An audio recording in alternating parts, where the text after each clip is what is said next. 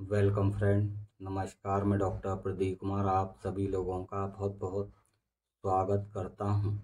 भाइयों, काफ़ी सारे लोगों के शरीर में विटामिन बी थ्री की कमी हो जाती है, जिससे वो काफ़ी परेशान हो जाते हैं। लेकिन काफ़ी सारे लोगों को यह पता नहीं होता है कि शरीर में विटामिन बी थ्री की कमी को पूरा करने के लिए क्या करना चाहिए, जिसकी वजह से उनके शरीर में विटामिन बी थ्री की कमी हो जाती है और लंबे समय तक शरीर में विटामिन बी थ्री की कमी के बने रहने के कारण उनको काफ़ी सारी बीमारियाँ हो जाती हैं, जिससे वो काफ़ी परेशान हो जाते हैं।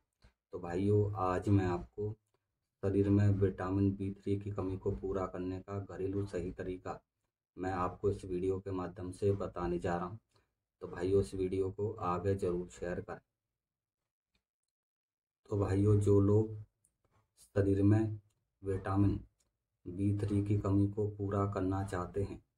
तो भाइयों, आप हरे मटर को खाएँ, पालक को खाएँ, ब्रोकली को खाएँ, मशरूम को खाएँ, संतरे का रस पिएँ, मेथी के बीज को खाएँ, सूरजमुखी के बीज को खाएँ, मूंगफली को खाएँ, कद्दू के बीज को खाएँ।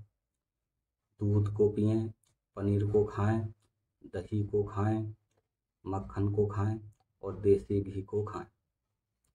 अंडा, चिकन और लाल मांस को खाएँ, जेई को खाएँ। भाइयों, पानी प्रतिदिन दो से ढाई लीटर पानी ज़रूर पिया करें। तो भाइयों, अगर आप खाने पीने का ध्यान रखेंगे तो आपके शरीर में जो विटामिन बी थ्री की कमी हो गई है, ये समस्या आपकी पूरी तरह से ठीक हो जाए भाइयों, अगर आप मुझसे कुछ पूछना चाहते हैं भाई भाइयों मुझसे कमेंट करें, मैं आपके हर कमेंट का जवाब ज़रूर दूँगा। नमस्कार भाई।